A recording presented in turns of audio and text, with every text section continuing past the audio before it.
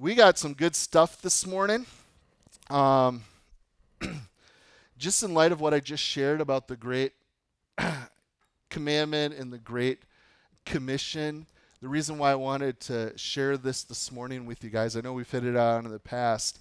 Um, I read a quote this week by a guy named Mike Brinn, and he said this listen carefully.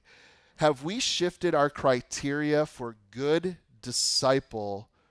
For a good disciple is someone who shows up for our stuff, gives money, or occasionally feeds the poor. And that kind of hit me because for us to be followers of Christ, it's about discipleship. That's something that we are to grow in, to go deep in, to be more and more like Him. It's not like, oh, I just hope people show up today. And I pray because really, church, why are we here? We find encouragement, right? We get to be with other brothers and sisters. We're going to be taught the Word of God, which is going to equip us for the work of ministry. It's going to reveal more of who our God is, what He's like, His heart. And if we're going to be more like Him, those things are needed. Those things are good. And I want to go deep with you guys. You guys know I love the Word of God, and you know that I believe what the Word says about itself. Okay? It radically can transform a person's life. Okay? It can get us into a place that we have right thinking. And that is so important, especially when it comes to what we believe. Okay? And you guys know that doctrine matters. Okay? We're told in 2 Timothy 3:16 that all of scripture, the whole of the Bible, okay, it's God breathed, it's inspired by him, it's been given to us for four different things, but the first thing that he names is for doctrine, to teach us what is right. And we need to know what's right because if we have bad doctrine, you know what that's going to do? It's just going to have us in a place of having bad thoughts or thinking about other things. Like bad theology begets more bad theology. We see that happen all the time.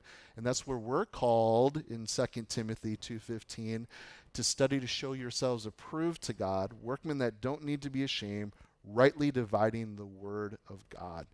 So doctrine matters. And as we've been studying verse by verse through Genesis and Romans this last year, we're about to embark in some chapters that have a lot of controversy on how to interpret it, how to look at it, what is God actually speaking about? Israel, what's the deal here?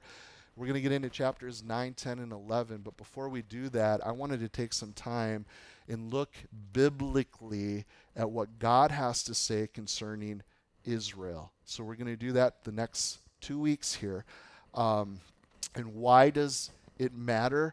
Um, because it matters to God. And first of all, I want you guys to know that this morning, this is not a political message that I'm giving today. Sometimes when we are in the Word of God, okay, it will have political implications because it is truth and it will speak to what's going on in our lives culturally, okay? But this is strictly biblical. And the purpose is through it is to help us navigate to understand current political happenings in the Middle East, in the world from biblical world view. And that's something that I really pray that we here at Freedom are going to do. Because don't we want a biblical worldview? Okay? The world has a whole lot to say. Culture's telling us a whole lot of things and what to care about. And we know that Jesus said that the cares of this world, they're going to choke us out. But he came to give us life and life abundantly. He came to bear witness to the truth. And that truth, as we're told in John 8:32, will set us free. So when we are looking to the scriptures first and we have a biblical view, we're able to look at things going on in the world today rightly with right understanding. But that often gets flip-flopped in Christendom today because we're looking at all the stuff and how do we fit scripture according to what we want, what we're seeing, you know, that's backwards. So this morning God has much to say when it comes to specifically Israel and why Israel matters. Now, some of you guys are already wanting to check out, I'm a Gentile believer, okay? I'm not a Jew. I live in the West. Israel's way over there. Who cares? Well, I'm going to share with you guys because scripture actually says much about this. A guy by the name of Lewis uh, Sperry Chafer, he says five six of the Bible bears directly or indirectly on Israel and the Jews. Now, if that much of the Bible, five six of it, come around Israel and the Jewish people, do you think maybe God cares about Israel and the Jewish people? And do you think, as followers of Jesus Christ, if that's what he cares about, maybe we should care about it too? Maybe we should have some good doctrine, teaching, theology around Israel. Okay? So this morning, guys, we're going to really dive in and consider how we, as Christians, as believers of the Messiah, okay, who is Jewish, Jesus, um, how are we to view Israel? Okay? How are we going to look at the challenges of her existence? You know, how do we look at the possession of the land itself there in Israel and her chances of survival? So, those are some of the things we're going to cover this morning. So, there were and there are and there always will be, when we consider Israel, they're always going to be God's chosen people. If I could have you guys look up, oh, real quick, I got to go to Israel last year with some of you guys that are here. Woohoo! It was awesome. Um, I'm not showing a lot of pictures. This is the only picture. Sorry about that guy that's in the middle. But if you look beyond him, behind, that's Megiddo, guys. That's where Jesus, um, translated, you know, that's the Hebrew uh, Megiddo. Armageddon. Have you guys heard of Arm- this? Is where Jesus is going to return the second time and wage war, and we're coming back with him. I'm pretty excited um, for that. But anyways, uh, what I want to share with you guys, we're going to look at a lot of scripture this morning. Um, because the Bible says much about Israel and why it matters. Uh, so, you note takers, you're going to love this morning's sermon. Okay, the first one we're going to look at is found in Deuteronomy chapter 7, verse 6, okay? For you are a holy people to the Lord your God. He's speaking to Israel. The Lord your God has chosen you to be a people for himself, a special treasure above all the peoples of the face of the earth. So, you guys catch that. Israel matters because God has chosen her. Okay? He's done that. We also know that she is the firstborn of the Lord. Uh, we're told here in Jeremiah 31, verse 9, they shall come with weeping and supplications, I will lead them. And I will cause them to walk by the rivers of water in a straight way in which they shall not stumble. For I am a father to Israel, and Ephraim is my firstborn. And then a scripture that I love more than any other concerning God's heart for Israel is found in the prophet Zechariah chapter 2 verse 8. Thus says the Lord of hosts, he sent me after glory to the nations which plunder you, for he who touches you touches what? The apple of my eye. Do you guys know that Israel is the apple of God's eye? So, there are four things we're going to dive into in this study of why Israel matters, okay? And it's going to help us have a scriptural understanding, okay, of Israel. We're going to look at God's purposes for Israel. We're going to look at God's promises to Israel. And then we're going to look at the preservation next week of Israel and also the prophecies of Israel. And that's going to be really hard for me not to go to this morning because when you consider Israel and all the promises that God's made to her, we're seeing Bible prophecy about Israel being fulfilled right before our eyes today. And that's pretty exciting. But we'll get into that deep dive next Sunday. But I want to give you guys a heads up. Um, I'm also going to be refuting replacement theology as we're going through this study because it is something that much of the church of Jesus, okay, in Christendom has embraced. And it is horrible theology, which I said before begets more bad theology. And I can't think of a denomination, okay, um, that follows, has bought into the lie of a replacement theology. And what I mean by replacement theology is they teach that Christians, the church, have replaced Israel. Okay, we took their place because Israel The Jews rejected their Messiah, Jesus. So God said, Hey, I'm done with them. And now you Gentiles, the church, you guys get to have all the promises and blessings of Israel. You're going to replace them. That's completely unbiblical, okay? And again, bad theology begets more bad theology. And when I look into writings, commentators, different movements, tribes, denominations that have bought into that lie, there's a lot of other bad theology that accompanies it because of their view of Israel and what God says to her. And it's very easy to start twisting scripture and looking at things wrongly. And we guys, we want to have a proper systematic theology when we approach the scriptures. Okay? Hermeneutics, like we're going to be jumping into chapters 9, 10, and 11 of Romans. And everyone who has a hermeneutic is an interpretation, how they go about studying, interpreting the scriptures. A lot of these guys, when they come to those chapters, they throw out how they've interpreted the rest of scripture when they come to those chapters. And it's just like, oh, what? You can't do that. and if we if we don't do that, we're, we're, we have to believe what God says in His Word. And I want us here at Freedom to know that we can believe, literally believe what He says. We don't have to twist it. We don't have to make it say something else because of some presupposition that we have. We can receive just what He is saying as He said it. And there's a safety in that. And I've been able to preach over 3,000 sermons okay? The entirety of the bible except for the book of ezekiel. There's just some stuff in there i'm still like unsure but the whole of it works. You can literally read and trust what god has said in his word. So we're going to do a deep dive. We're going to look into the purposes this morning that God has in Israel. And I want us to mark down five things, you know, specifically why God chose Israel. The first one we're going to look at is found in Genesis chapter 12, which we have been able to study in depth this last year. The first one is that through Israel, God might bless all nations. Think about the implications of that and what that means for you and I. We're told in Genesis 12, now the Lord said to Abram, Get out of your country, from your family, and from your father's house to a land that I will show you.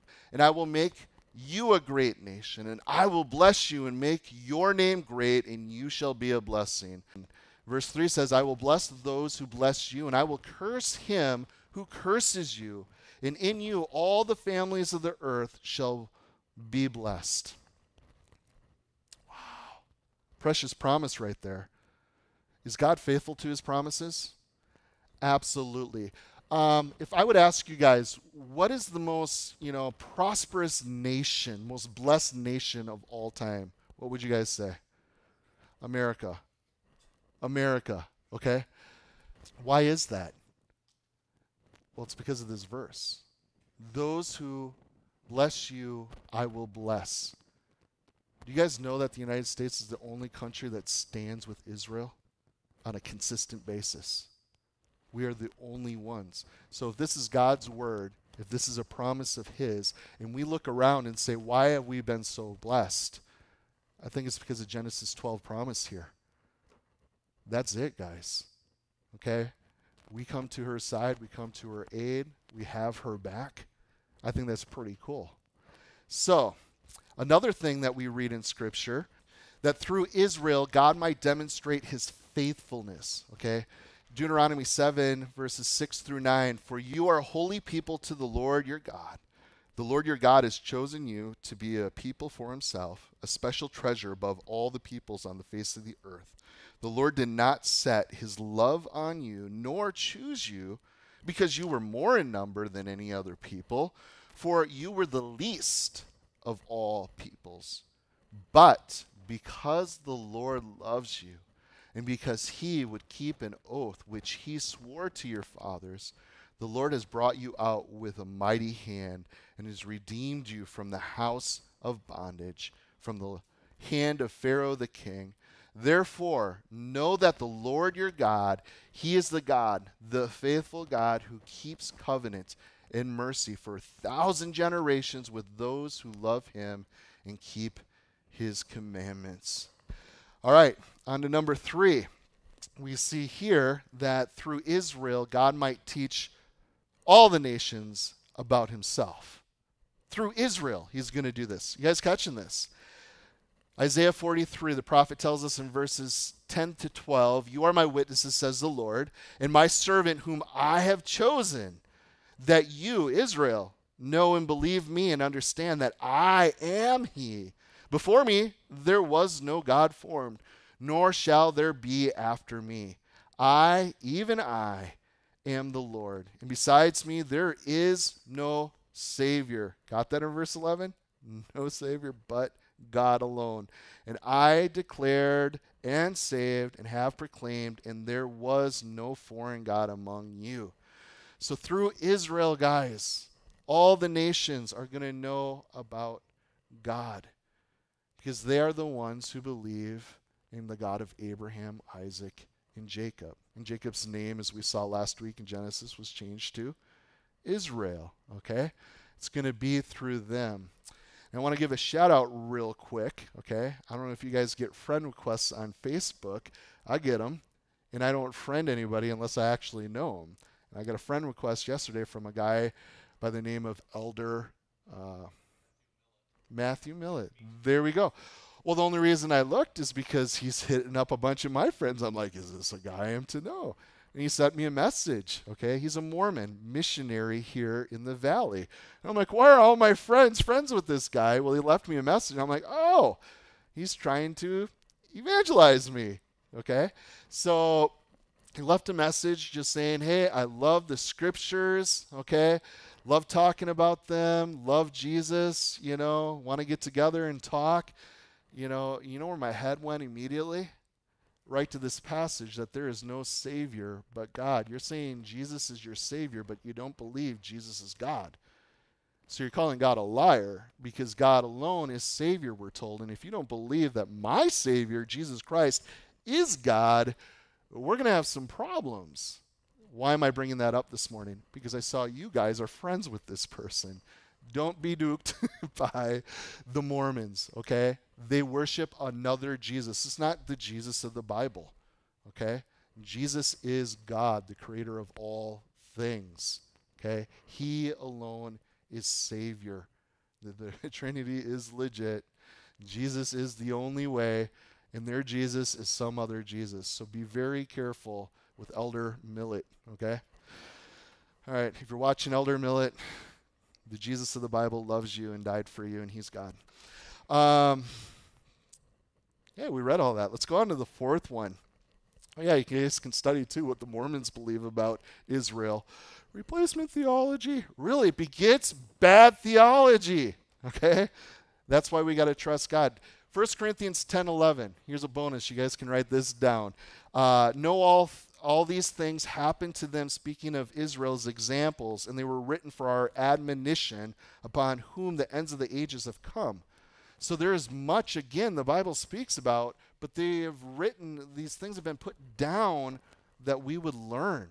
And some of you guys are thinking, why are we doing this study this morning as Gentile believer? Because we have much to learn, and most of all, the heart of our God. Okay? He has a heart for Israel. And we're going to see that as we continue on. Look at number four here through Israel, God might be praised. Okay? Uh, Isaiah 43 again, this time verse 20 and 21.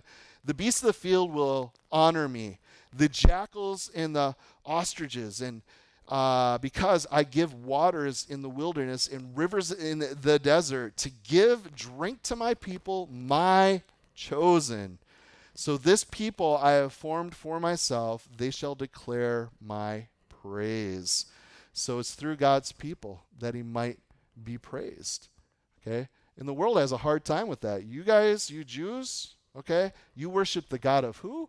Of Abraham, Isaac, and Jacob. Do you guys know that's the God we worship? Okay? We honor.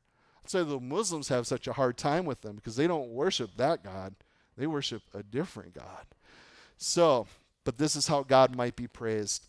And then the fifth one we're going to look at together this morning is that through Israel, salvation might come to you. Check out what Jesus says here to a woman he encountered who wasn't a Jew in John chapter 4. He says in verse 21, He said to her, Woman, believe me, the hour is coming when you will neither on this mountain nor in Jerusalem worship the Father. You will worship what you do not know. We know what we worship, for salvation is of the Jews. So our Lord and Savior made it pretty clear there concerning Israel. Do you guys know that the oracles were given, the precious promises were given to Israel? Okay? Jesus came to his own first. You guys know that Jesus was a Jew? Oh, no, he was black. No, he was not black. Okay? And I can't stand all the art we have. Jesus wasn't a white dude, he was Jewish. You guys understand that? He was a Jew, he came to his own. Okay? A Jew is the Savior of the world. Okay? So, it is through Israel that we get to realize the blessings of God, the faithfulness of God. We get to learn the character of God. We get to see that God is praised through them and that salvation is made through them. Okay? It was through Abraham's seed that the Savior of the world, the Messiah, would come. So if then God did not fulfill his promises, think about this with me this covenant that he made with Israel, then there would be no blessing for the nations, correct? There would be no, you know, God would prove to be unfaithful. Also, we would learn that he is a promise breaking, unpredictable God. That sounds more like Allah than Yahweh. Okay? Therefore, God would not be praised according to his character, and you cannot have a sure hope in salvation. We're told in Philippians 1 6 that we can be confident of this very thing that he who has begun a good work in you will complete it until the day of Christ Jesus. Because if God did not cast off Israel, he's not going to cast off, he's faithful even when we're unfaithful. Do you guys know that Israel's been quite unfaithful over the years? But he has still been faithful, and he's going to be faithful to you. Then we have no reason, if he did cast off Israel, if the church has replaced Israel, like many churches, pastors teach, believe, okay, then we can conclude he might do the same thing with us. We have no security. He just might cast us off too, then right? So have you been more faithful than Israel? Are you more deserving? Guys, it's God. It's all God.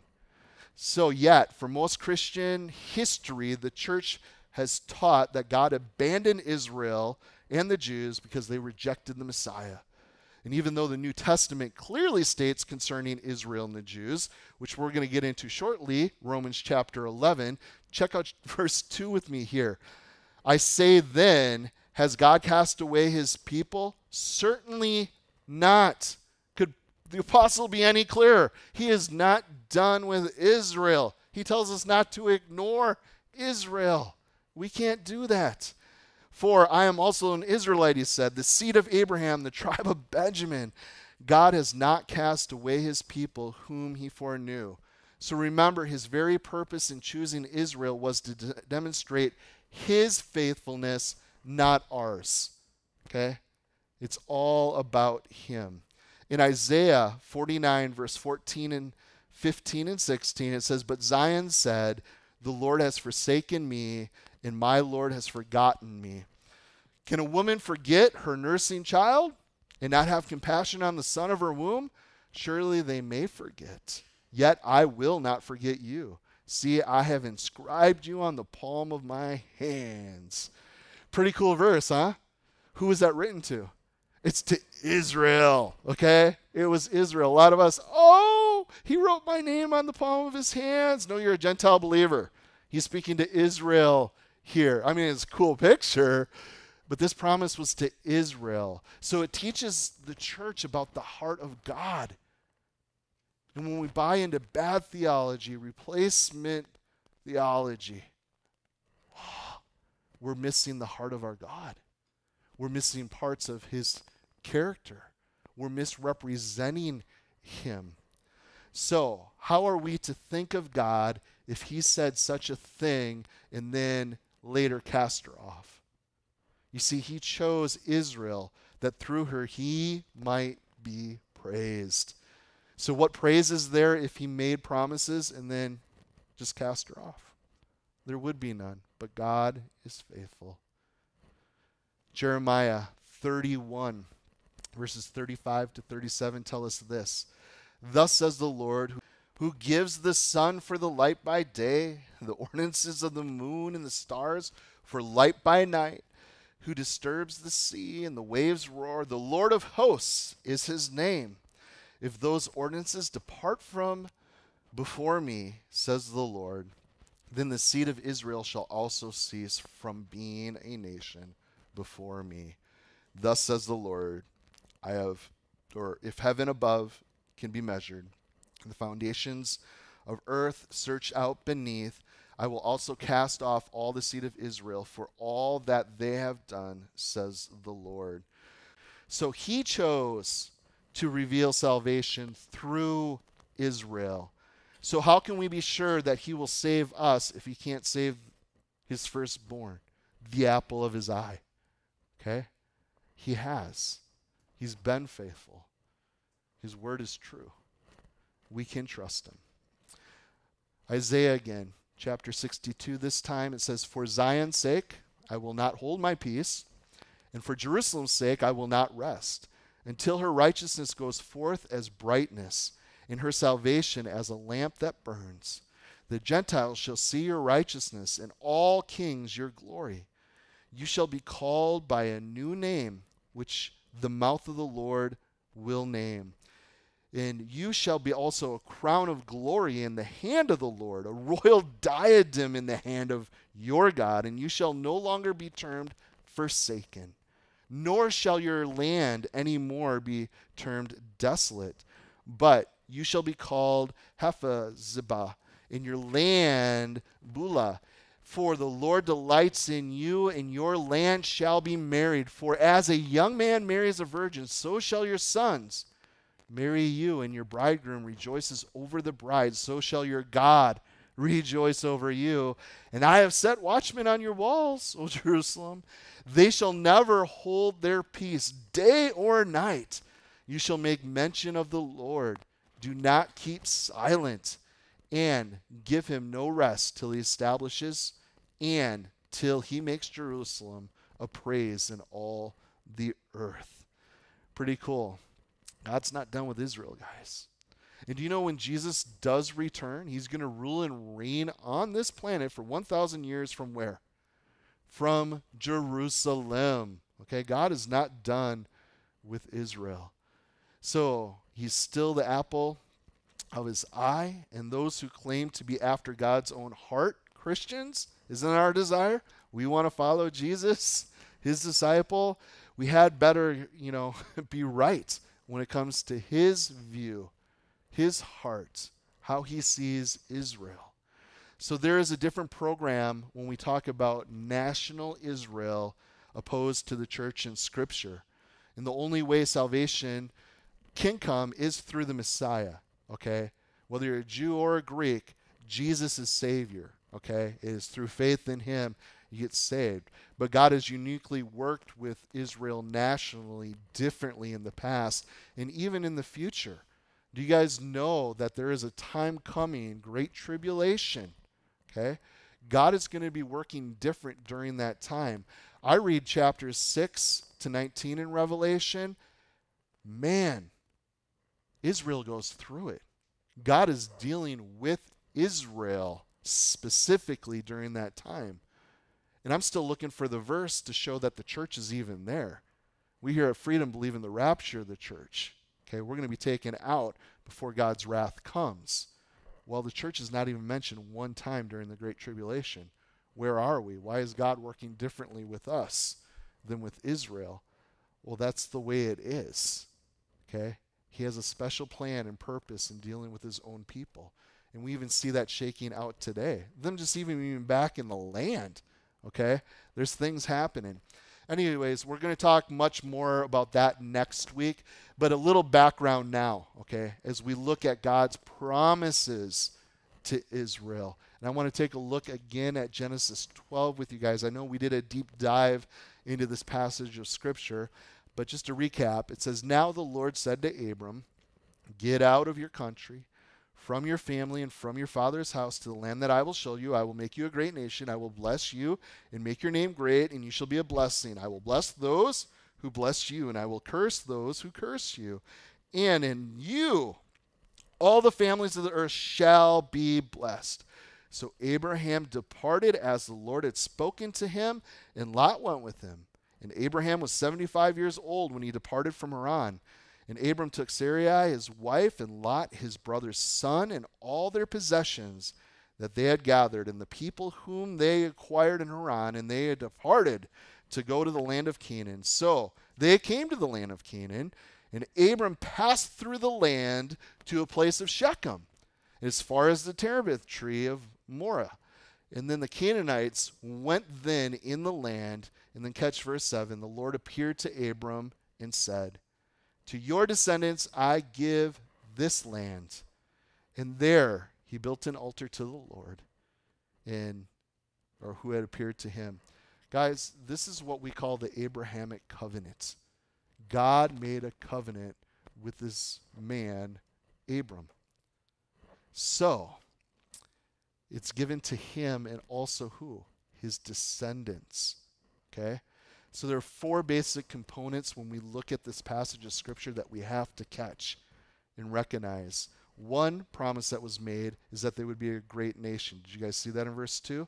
They would be a great nation. There's 6.8 million the Jews returned to their homeland today. Okay? You look back 100 years ago, hardly anybody lived there. Okay? And the Jews themselves, they were dispersed all over the world.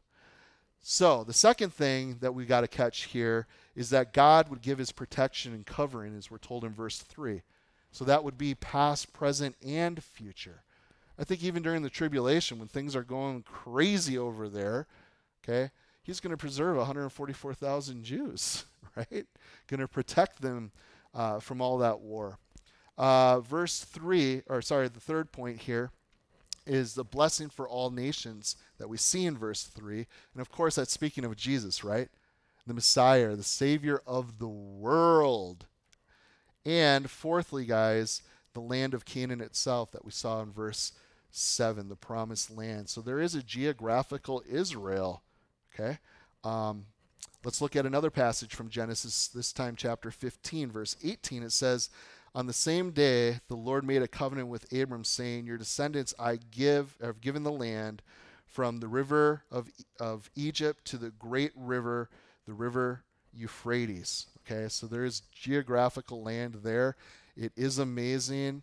Uh, for you guys who went on the trip with me last year, I was kind of in awe when we were on the northern part of, of Israel. Okay, uh, we saw a fence. Okay, Jordan was on the other side, and here's Israel. And you looked on the other side of the fence to the, this other country, and it's desert, it's dirt, it's gross. And Israel is green. Read the end of Amos. God promised to do this in the last day to have his people return, okay, and that they would be producing fruit. There'd be an overflow. And it is today, guys. It's unbelievable this little country, what it's doing, and how many millions of people live there now. Um, I'm getting ahead of myself. Prophecy next week, guys. so, um, and this is an everlasting covenant. Did you guys catch that? Israel's important because this is everlasting. Genesis 13 15 says, For all the land which you see, I have given to you and your descendants, catch it forever. How does replacement theology work out if this is a covenant that God has made forever, everlasting? There's not going to be an end to it. And then chapter 17, which I also have up here for you guys, verse 7 and 8. And I will establish my covenant between me and you and your descendants after you in their generations for an everlasting covenant, to be God to you and your descendants after you. Also, I give to you and your descendants after you the land in which you are a stranger, all the land of Canaan, an everlasting possession, and I will be their God. Everlasting. It's crazy. They are there today in the land, okay? And the Palestinians, the, the Middle East, they won't even put her on the map. They don't want to recognize her. But God has made this promise. They are there today. They are on the map, whether or not they want to recognize it. And that's why there's all these tensions and war going on. It's over the land. Well, if they're not really there, why are you fighting with them all the time? It's crazy. Anyways, we know that this covenant was confirmed. Okay, it was with Isaac, the son promised to Abraham. We read of that in Genesis 26, verse 3 Dwell in the land, and I will be with you and bless you. For you and your descendants I give all these lands, and I will perform an oath which I swore to Abraham your father. And I will make your descendants multiply as the stars of heaven, and I will give to your descendants all these lands, and in your seed all the nations of the earth shall be blessed. So, there, okay, hey, Abraham, your son Isaac, get it. This is going to come through you. It's to your descendants also, and then also to Jacob, who is Isaac's son. And we saw that in Genesis 28, verse 13. And behold, the Lord stood above it and said, I am the Lord God of Abraham your father, and the God of Isaac. The land on which you lie, I will give to you and your descendants. Also, your descendants shall be as the dust of the earth you shall spread abroad to the west and to the east, to the north and the south, and you and your seed, all the families of the earth shall be blessed. Behold, I am with you, and I will keep you wherever you go, and I will bring you back to this land, for I will not leave you until I have done what I have spoken. So the covenant that God had made with Abraham concerning the promised land of Israel was dependent solely upon God. Do you guys see what God is declaring? It is His deal. It wasn't a, you know, if then kind of scenario. It was God alone was going to do this. So, another scripture we find in Genesis 15 this time. Look at verse 7. Then he said to him, I am the Lord who brought you out of Ur the Chaldeans, and I will give you this land to inherit it. And he said, Lord, how shall I know that I will inherit it? So he said to him, Bring me three year old heifer, a three year old female goat, three year old ram, turtle dove, and a young pigeon. And then he brought all these to him and cut them in two down the middle and placed each piece opposite each other. But he did not cut the birds in two. And when the vultures came down on the carcasses, Abram drove them away. Now, verse 12. Now, when the sun was going down, a deep sleep fell on Abram, and behold, a horror, great darkness fell upon him. And then he said to Abram, Know certainly that your descendants will be strangers in the land that is not theirs, and will serve them, and they will be afflicted 400 years. And also the nation whom they serve I will judge. Afterward they shall come out with great possessions. Now, as for you, you shall go to your fathers in peace you shall be buried at a good old age. But in the fourth generation they shall return here, for the iniquity of the Amorites is not yet complete. And it came to pass, when the sun went down and it was dark, that behold, there appeared a smoking oven and a burning torch that passed between those pieces. And on the same day, the Lord made a covenant with Abram, saying, Your descendants I have given this land, from the river of Egypt to the great river, the river Euphrates, the Kenites, the Kenezzites, the Kadmonites, the Hittites, the Perizzites, the Rephaim and the Amorites, the Canaanites, the Gershites, and the Jebusites. So please notice, Christian, this covenant, okay, by which you are saved. Okay? It is through Israel that the blessing of the Messiah would come. It was Jesus, a Jew, a descendant of Abraham's, who hung on that cross 2,000 years ago to forgive the sins of the world. And that, guys, the forgiveness of our sins, that was solely God also. Do you understand this? He chose Israel, He made this covenant, He did it all. He did all the saving on that cross 2,000 years ago. You guys kind of getting the point? This is God's deal, okay? I love what Peter tells us in 1 Peter chapter 1 verses 3, 4 and 5. Blessed be the God and Father of our Lord Jesus Christ who according to his abundant mercy has begotten us again to a living hope through the resurrection of Jesus Christ from the dead to an inheritance incorruptible and undefiled that does not fade away, reserved in heaven for you who are kept by the power of God through faith for salvation, ready to be revealed at the last time. So, understanding then this covenant that he made with Abraham being an everlasting covenant and that responsibility for the fulfillment, uh, it is of God alone. Okay, it makes us all the sense in the world then that he would currently be working with Israel. Right? Everlasting covenant, they're going to continue the land forever. We should be like, yeah, should be happening. Think about it. There's never been a people group in the history of the world that has disbanded from their homeland and made it more than three generations. Even though the Jews weren't in the land, there may have been a few, but just a hundred years ago, there were Jews all over the world. 2,000 years after the dispersion of 9, or 70 AD. 2,000 years, they're still Jews. That's never happened with any other people group. Amazing. So, God is currently working today. So, if we think about it, His word and His character really are at stake here. If the church has replaced Israel, it skews the character of God. It misrepresents him. He's not faithful to his promises any longer. See, God did promise that he would discipline by removing the children of Israel from the land in their persistent disobedience. I want to share from you Deuteronomy 28, verse 63. And it shall be that just as the Lord rejoiced over you to, uh, to do you good and multiply you. So the Lord will rejoice over you to destroy you and bring you to nothing. And you shall be plucked from off the land which you go to possess. Then the Lord will scatter you among all peoples from the end of the earth to the other. And there you shall serve other gods, which neither you nor your fathers have known wood and stone. And among those nations, you shall find no rest. For, or nor shall the sole of your foot uh, have resting place.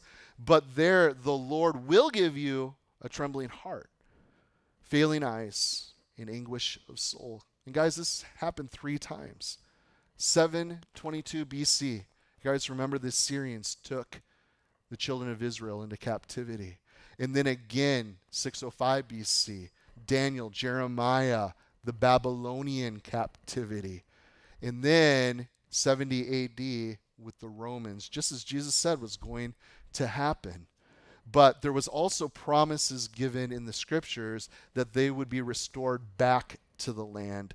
Look at Deuteronomy chapter 30 with me, verse 3 and 4.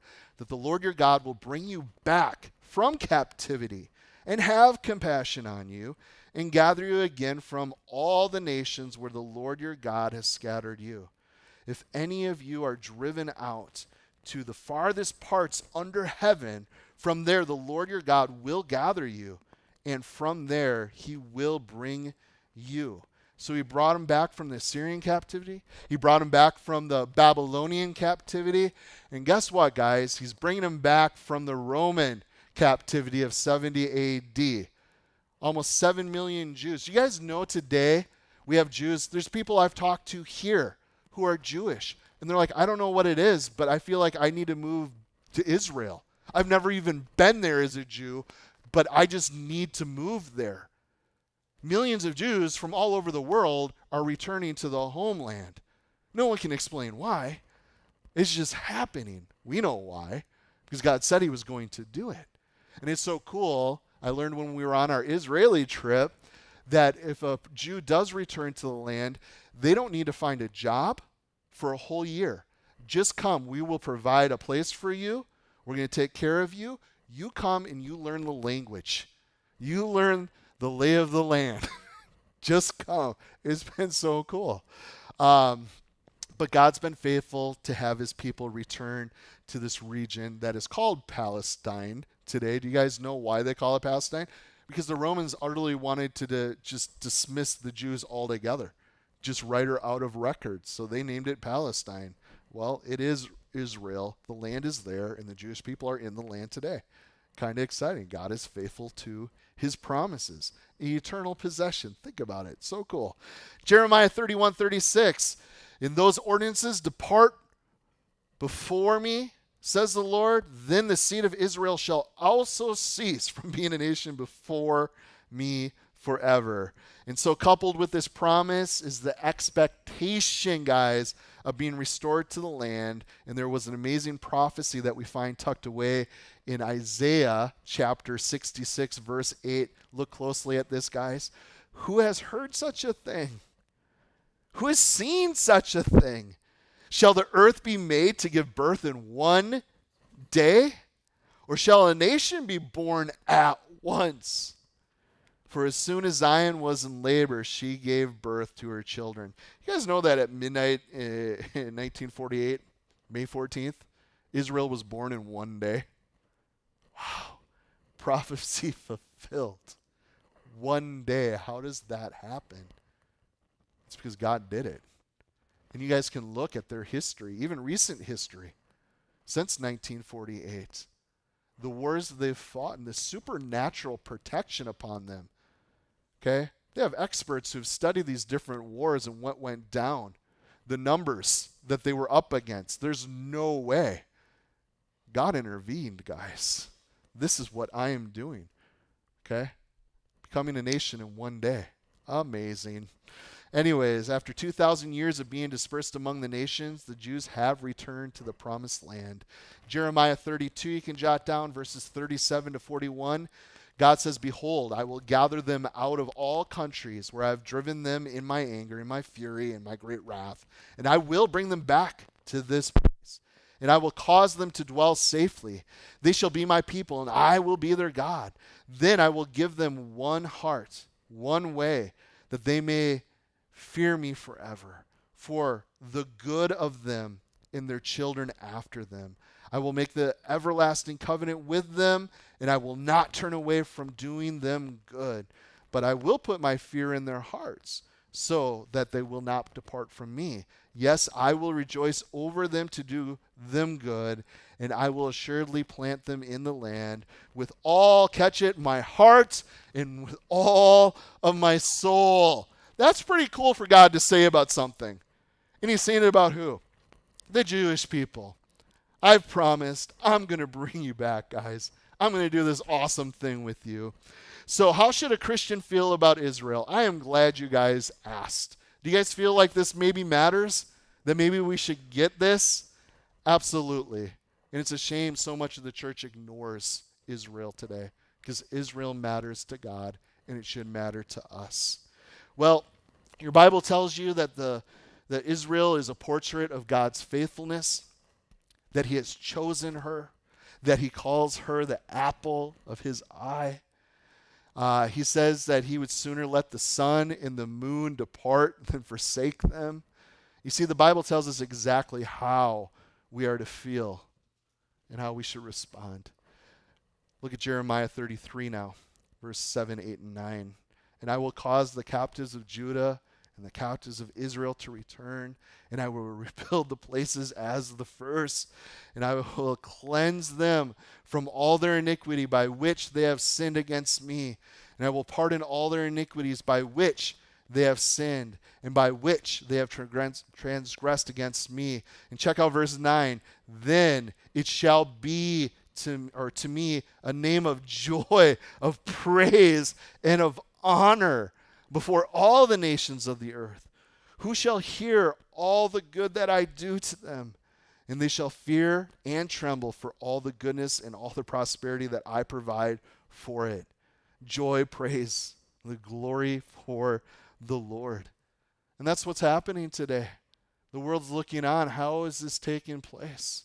What is going on with Israel? How are they so blessed? How is there so much prosperity? Only God could do this, guys. To him be the glory. So the Lord's not done with Israel, and there's much to talk about, and we're going to get into a lot of that next week. But I want to close just with a couple of things I want us to consider. And one of those things is what Jesus told us in Matthew 24, verses 6 and 7. He said, Hey, you're going to hear of wars, rumors of wars. This is going on today, guys. Okay? See that you're not troubled, for all these things must come to pass, but the end is not yet.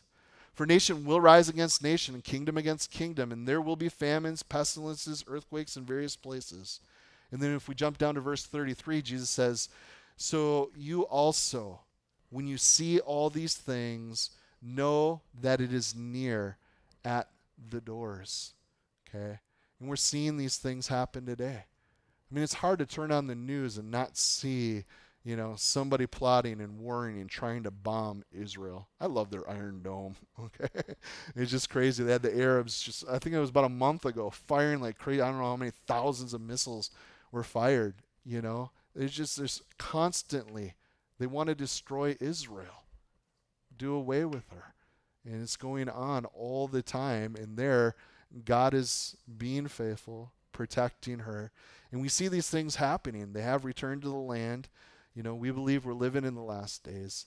And I want to share one more passage of scripture. It's a little bit longer, and it's in Ezekiel. I told you guys I, it's the one book in the Bible I haven't taught through. There are some passages that are clear today, like uh, that's exactly what you're talking about. There's some other passages in Ezekiel. It's like, what are you talking about, Jesus? I, I don't get this. But anyways, this one is very clear concerning Israel, God working for His sake and His name. Okay, in light of Israel. Check this out in chapter 36, verses 16 to 24.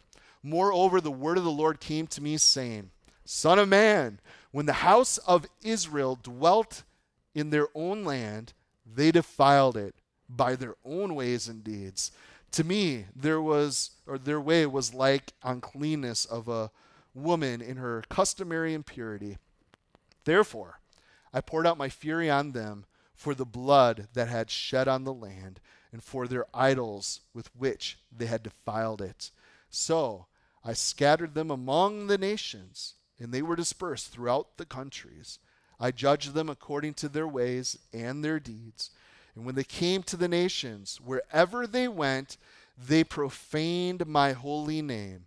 When they said of them, These are the people of the Lord, and yet they have gone out of his land. But I had concern for my holy name, which the house of Israel had profaned among the nations wherever they went. Therefore, say to the house of Israel, Thus says the Lord God, I do not do this for your sake, O house of Israel, but for my holy name's sake, which you have profaned among the nations wherever you went. I will sanctify my great name, which has been profaned among the nations, which you have profaned in their midst. And the nations shall know that I am the Lord, says the Lord God, when I am hallow, hallowed in you before their eyes. For I will take you from among the nations, gather you out of all countries, and bring you into your own land. This is God's deal. Guys, Israel is there for the glory of God, for his name's sake. Okay? I hope we have a better grasp, a little more clarity to the importance of Israel and why she matters and God's heart towards her. We're exhorted in Scripture to pray for the peace of Jerusalem. That's something we should be doing as Christians. Okay? We're also told in the New Testament we provoke Jews with jealousy. Why? Because we also worship and love the God of Abraham, Isaac, and Jacob. And they're looking at us, Gentile, like, what are you? That's our God. Stop worshiping my God. you know, we get to provoke them. It's Jesus, a Jew. He's the Savior of the world. He was the promised Messiah. He's the blessing to all nations, and we get to provoke them.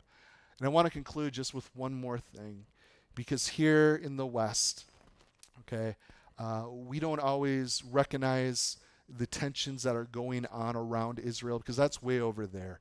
But if we turn on the news, you're going to, even though it's a little country, the eyes of the world are on her.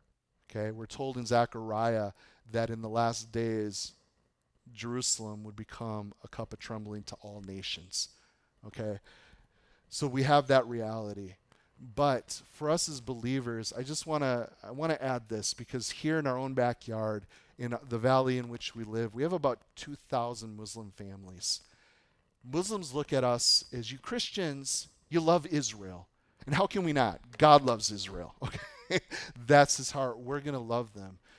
But God died for the Muslim on that cross of Calvary 2,000 years ago. He died for the sins of the world. That includes Arabs, the Muslim, all us Gentiles. That's what we have in common with the Muslims, guys. We are also Gentiles, also in need of forgiveness, in need of a Savior. And we get to share the good news with them. So I would encourage you guys yes, we love Israel. We'd love to take trips to Israel. We pray for Israel. But let's be praying for the Muslims of the world all this stuff that we see shaking out in the middle. Like we got the Afghanistan ha- thing happening right now. And we're like, man, shame on us. We blew it. What a mess, right? This kind of stuff has been happening my entire life in the Middle East. It's always something. And we look at it and we point the finger, well, that's Allah for you. That's the fruit of Islam. Wars, killing each other, wanting to take out Israel, killing the great Satan, America. They want to get a, you know, it's easy to do that. But the reality is, God loves the Arab world. God loves the Taliban that took over in power. I don't know if you guys have been praying for that situation. My biggest prayer in all of that, and there's a lot of prayers that have come around everything going on in Afghanistan, but the prayer that keeps coming up over and over Lord, crash into their hearts. Open the eyes of the Taliban. they need you. You are the answer. You loved them so much to die for them. Save them has been the prayer. And that's the same heart that God would have for our Muslim neighbors right here in the Fox Valley. Because a lot of them, if they know you're a Christian, they're like, yep, you Christian, you love those Jews, you hate me. That's how they view us, and that should be the last thing, because we will be known by our love. Amen. Amen. So, Father, thank you for this study. We're excited to look into your preservation next week of your people of Israel and all the prophecies. Not all of them, we don't have the time, but it, it's so cool how, how you've been faithful to your word, Lord. And uh, just thank you for just teaching us this morning, God, just the purpose and the promises that you've given to Israel. And we pray for her this morning that you would, uh, yeah, that you would bring your peace. We know that you're the Prince of Peace. We know that you are literally going to stand on the Mount of Olives one day. You're going to rule and reign from Jerusalem. Um, and we, we pray that you would come, Lord, because we know that's when ultimate peace will come uh, to Israel and surrounding country, really this entire world. Uh, we need you, God. So please come. And we do pray for opportunities, whether it's a, a Jew, a Gentile, a Muslim, a Mormon, whoever, Lord. Uh, you've given us the words of life.